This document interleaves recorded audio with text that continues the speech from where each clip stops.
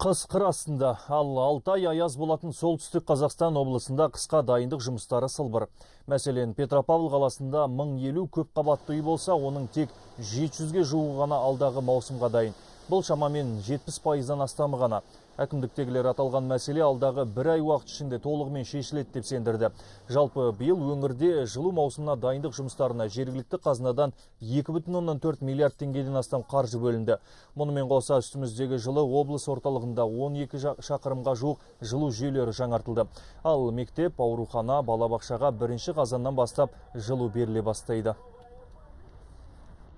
подготовка к отопительному сюжету. Бүгінгі күні жұмыстар кестеге сәйкес жүргізіліп жатыр. Солтүстік Қазақстанда жылыту маусымы 15 қазаннан басталады. Сондықтан қазір қалған тұрғын үйлердегі құбырларды жуып қысыммен тексеріп жатырмыз. Шаһарда бұл жұмыстармен 9 кәсіпорын айналысады. Ал жылу электр орталығы көмірмен толықтай қамтылды. Қара алтынды біз екібастұздан сатып алдық.